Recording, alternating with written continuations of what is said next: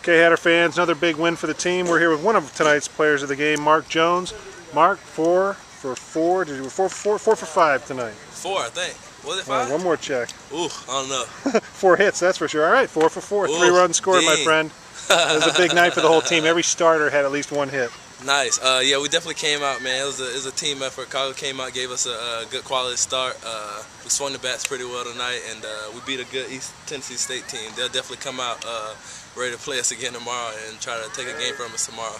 So what's the what's the mood on the bench when they come out with those big sticks early and, and knock a Uh, couple long ones? Uh, it's not really anything. We just got. We just know if we play our game, we can we can uh, compete and actually uh, beat anybody. So uh, them jumping out to a two nothing lead, I think I think they got two in the first inning was uh, that was just that's part of the game. So we just came back in, wanted to try to cut the lead in half. We actually put a run up on the board, and uh, from there on, we just wanted to keep building on the lead, and we actually uh, we actually broke through and had a, a, a big inning.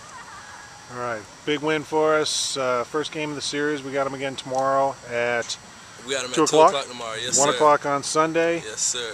Yes, one sir. down, two we to got go. two to go. Yes, sir. All right, congratulations. See you out there this weekend. All right.